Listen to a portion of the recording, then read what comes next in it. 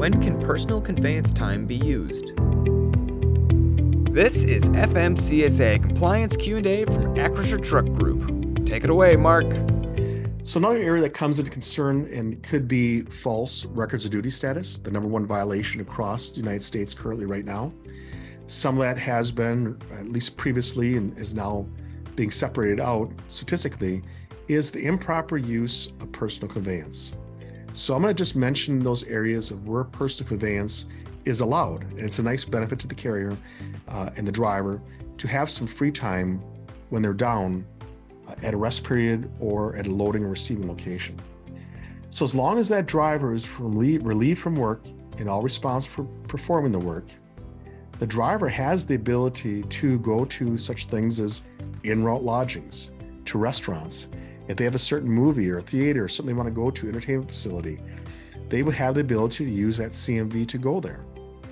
Also, they have the ability under Parent 2 to commute between the driver's terminal and his or her residence, and including between trailer drop lots and the driver's residence and also between work sites and the residence. And we'll talk about work sites.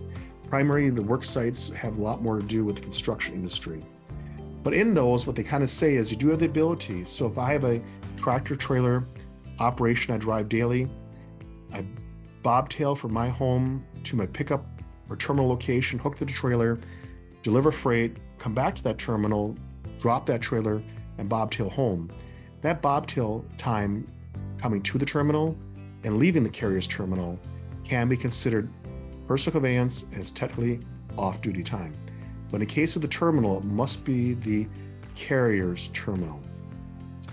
In addition, one of the newest and probably one of the best things that occur in the personal conveyance is that the driver has the opportunity to drive to a reasonable, safe location to obtain rest after loading or unloading even though they may have run out of, out of hours of service at that shipper or receiver.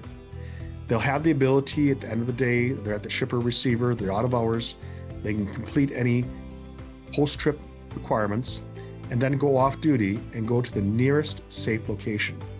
When I say nearest, it might be further away from the next destination or it might be closer to the next destination, but it must be the nearest one.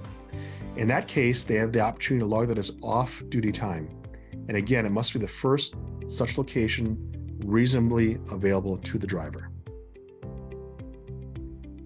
Also, there's the ability that if a driver is legally parked at a location and a law enforcement officer knocks on the door and asks that driver to move his or her truck, movement required by safety officials can be called off duty personal conveyance. Meaning, if I was six hours into my sleeper berth time, I get the knock on the door from a law enforcement officer asking me to move the truck due to some emergency situation in the area, I don't have to wreck my whole 10 hour rest break in my sleep berth period. I can now go from a sleeper berth into on duty to uh, off duty time and move that vehicle to the next safe place and stay in the off duty status or resume sleep berth, whichever I wish, and it will not affect that 10 hour period off. There's always had the ability for drivers to transport personal property when off duty. If I owned a straight truck and I wanted to move a friend or move my own personal belongings from one residence to the next, it's not in the furtherance of commercial enterprise. That can be considered personal conveyance or off duty time.